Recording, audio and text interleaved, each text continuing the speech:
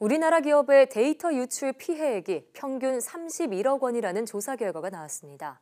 IBM이 공개한 2018 글로벌 기업 데이터 유출 현황 보고서에 따르면 한국 기업은 데이터 유출로 인해 평균 31억 원의 손해를 입었으며 데이터 한 건당 약 15만 원의 피해를 본 것으로 나타났습니다. 데이터 유출 원인으로는 해킹과 같은 사이버 공격이 40%를 차지해 가장 많았고 시스템 결함과 사용자 오류가 그 뒤를 이었습니다.